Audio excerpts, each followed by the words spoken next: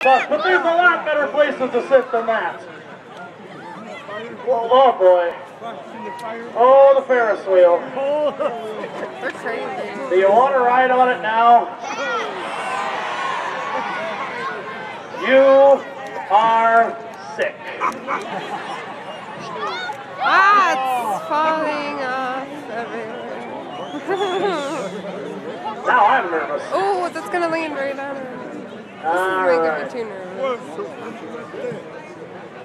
What I really wanted was those pretty lights to kind of flash around and do like they do in the carnival.